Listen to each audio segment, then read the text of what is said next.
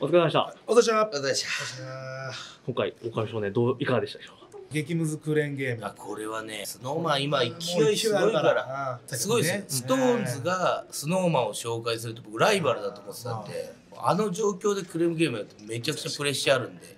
ただジャニーズですからスーパースターですから最後は奇跡を起こしました。ありがとうございます。ミラクルが起きてミラクルが起きてます。はい。交互期待ということで。はい。ピタゴラ出来栄えはマジ素晴らしかったですけど僕たちが大好きだった頃の中澤佑二はいなくなってました。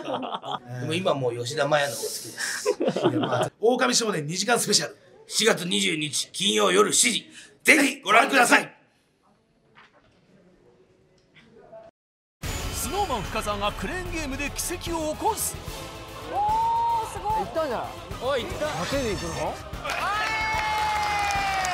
さらに中村倫也も参戦。狼少年金曜夜